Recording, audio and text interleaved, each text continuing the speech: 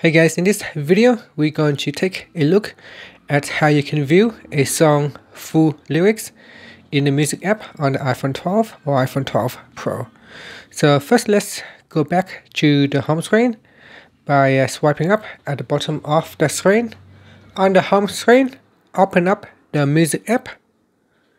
And then in uh, music, you want to go and open up a song that you want to view the lyric.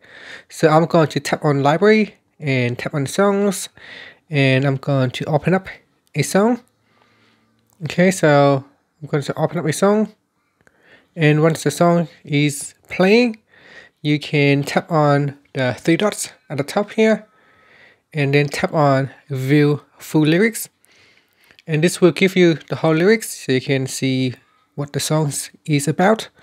Now if while the song is playing, you can also tap on this lyric icon at the bottom and that will show the lyrics line by line as the song progresses uh, towards the end.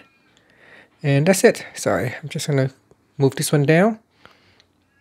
And that's it. Finally, you can swipe up to go back to the home screen. Thank you for watching this video. Please subscribe to my channel for more videos.